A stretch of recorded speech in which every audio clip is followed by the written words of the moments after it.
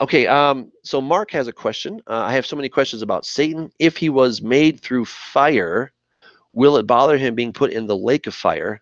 Why is he called God of this world or even a prince? Does God love him? Well, does God love him? Uh, you know, I'm sure that God probably loves him the same way that every father loves their son, even though when their son has done terrible things, right? There was a, a certain amount of hope, expectation of what the son could be. But there's probably also immense sorrow in God's heart uh, for, for Satan. Uh, and we, we catch a glimpse of this in Ezekiel chapter 28.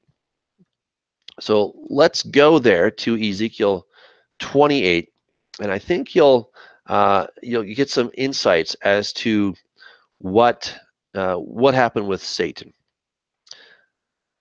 So Ezekiel 28. So we're going to start at verse 12. And here in verse 12, we see, Son of man, take up a lamentation for the king of Tyre and say to him, Thus says the Lord God, You were the seal of perfection, full of wisdom and perfect in beauty. You were in Eden, the garden of God. Every precious stone was your covering the sardius, topaz, and diamond, beryl, onyx, jasper, sapphire, turquoise, and emerald with gold. The workmanship of your timbrels and pipes was prepared for you on the day you were created. All right, so the first thing that we're, we're looking at is that this does not sound like a human king. Uh, I don't know of any human king that was ever full of wisdom and perfect in beauty. Um, I don't know of anybody that was actually in Eden, the garden of God, or who had all these different stones as their covering. And were they created? No. We were born. We're not created. Only Adam was created, and that was directly by God's hand. Uh, the rest of us were born into this world. And then he goes on, he says, You were the anointed cherub who covers. I established you. Again, doesn't sound like a human. It sounds like uh, some other being. So this, we understand this to be referring to Satan, uh, the anointed cherub who covers. So he had some kind of special role in heaven. Uh, whatever the covering means, we're not entirely sure, but it's something pretty cool, right? And he says, I established you. You were on the holy mountain of God. What is the holy mountain of God? The holy mountain of God is the new Jerusalem.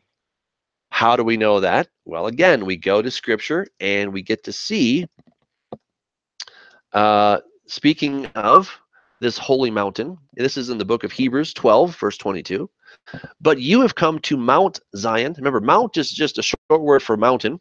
So the mountain of Zion, and to the city of the living God, the heavenly Jerusalem, to an innumerable company of angels. So Mount Zion, the city of the living God, New Jerusalem, these are all one and the same thing. These are all the same place. They're all the same thing.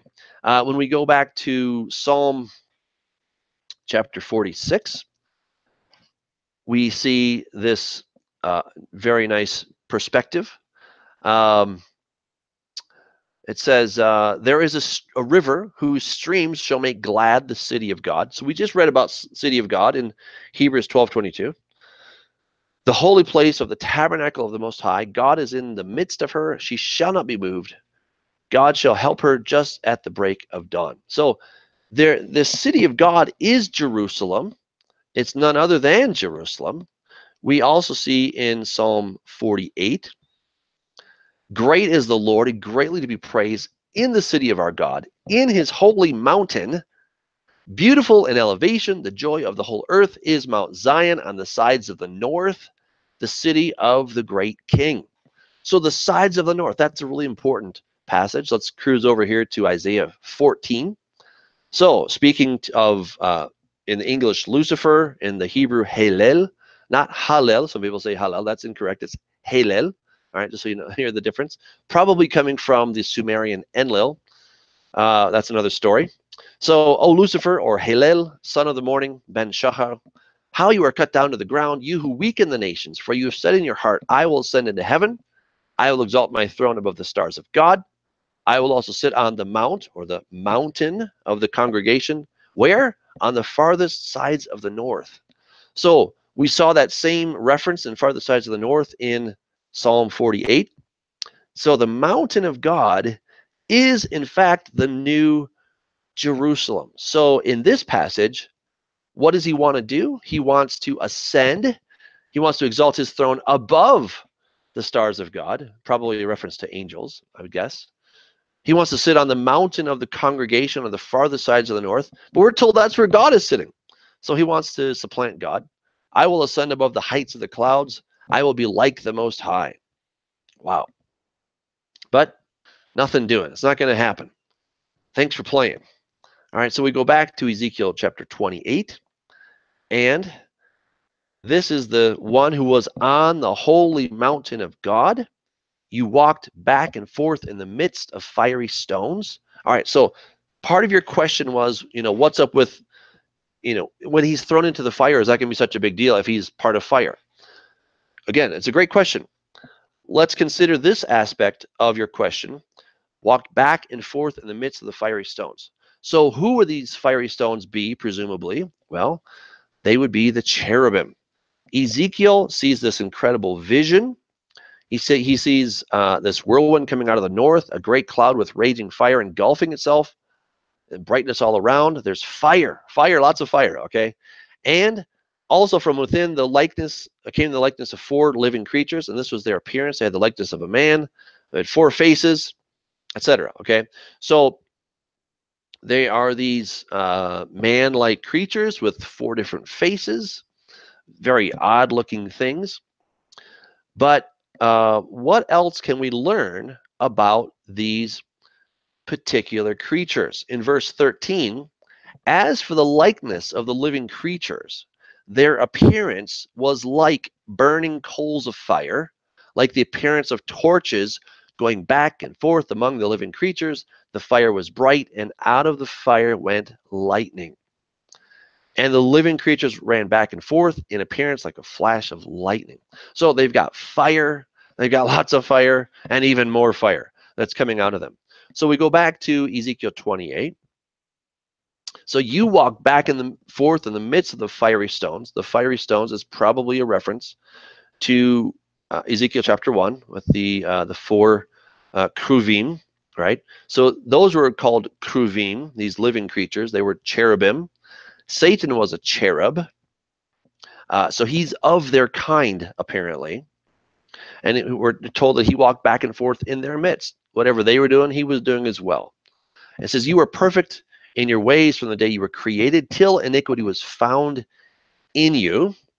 Uh, now, the next phrase I would suggest could is better translated by the abundance of your slandering. Uh, you became filled with violence within, and you sinned. Therefore, I cast you as a profane thing out of the mountain of God. So again, what did he do? I don't think that he was just trading. The word here is rachal rechulatcha, uh, which is the same root as slander.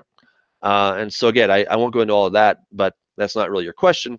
But that he was, he was, uh, you know, he was slandering. He was slandering God, and then he became filled with violence within, and he sinned.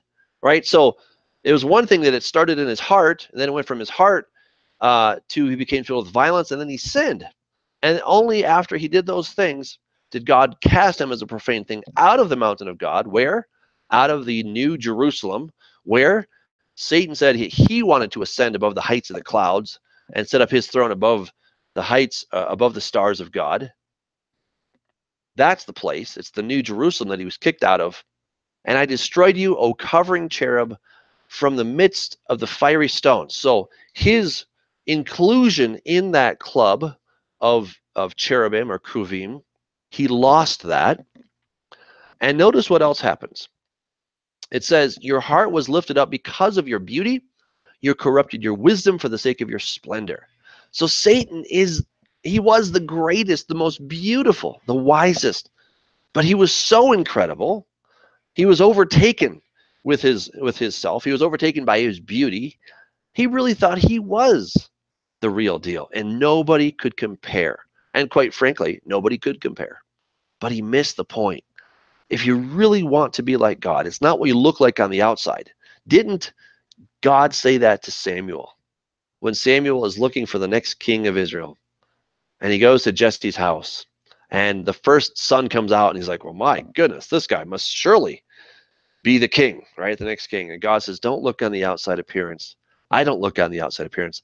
I look at the heart. And so eventually, David you know, the littlest, the runt gets to be the king because God's not looking on the outside. So all of the external trappings that God gave to Satan were things that he did not earn, didn't deserve. He got to enjoy them, but he misused them.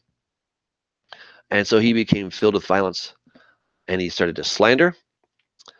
And so he says, um, I cast you to the ground. And then he goes on again. He says, By the iniquity of your slandering or whatever, therefore I brought fire from your midst and it devoured you. So uh, in the Hebrew, it's I literally I took the fire out from within you. I took the fire out from within you. So there was fire in Satan's members. God removed that, and so now it would it would seem that Satan is not able to exist in God's fiery presence. There's something that he is not able to do. Now again, I cannot tell you all of the mechanics of that because I've never been to that side. But from what I'm reading, something happened. There was fire. Satan had fire, and then he lost the fire. He lost it. Um, and so, whatever that means, we don't know exactly. But at the end of all things, it will not be a picnic to be in God's fire. That will be uh, a real shocker. Well, let's put it that way. And uh, so uh, I hope that answers your questions uh, about that. Uh, he will not enjoy his final destiny. It will be not a nice thing. So, if you want to go ahead and uh, contribute to the Patreon uh, on my YouTube channel, I would greatly appreciate that. Helps to keep the uh, Douglas Hamp Ministries going. Uh, you can also contribute to the Way Congregation. If you tune in and you watch, consider becoming a monthly supporter, whether on Patreon or we have an app called Tithely at thewaycongregation.com. You can give through that as well.